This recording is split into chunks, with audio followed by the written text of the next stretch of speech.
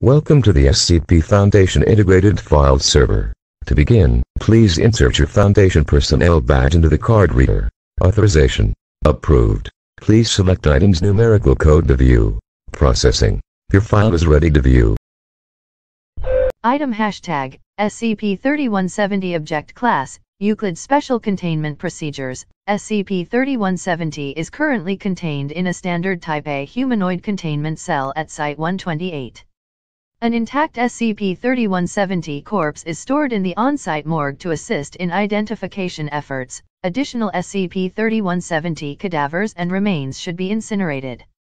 Description: SCP-3170 is Yulian Akaya, an Indonesian actress born in 1953 who starred in 17 films prior to her disappearance in 1979. SCP-3170 is biologically non-anomalous, and has been diagnosed with narcolepsy and retrograde amnesia. SCP-3170's anomalous property activates whenever she dies.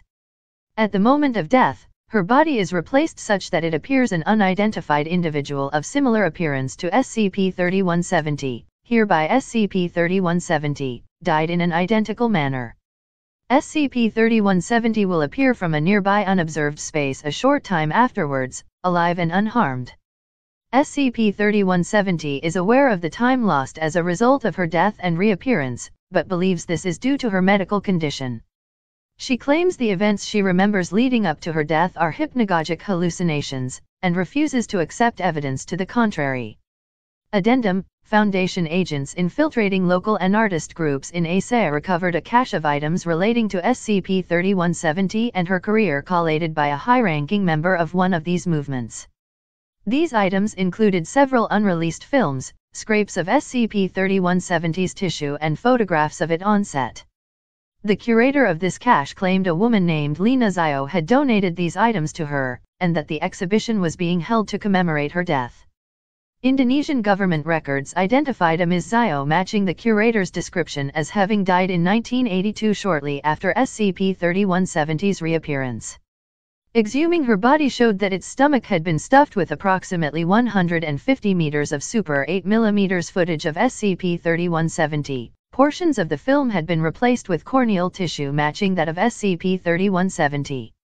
When questioned about Ms. Zio, SCP-3170 stated that she was a very giving, a deeply loving friend, but failed to recall more specific information due to its amnesia.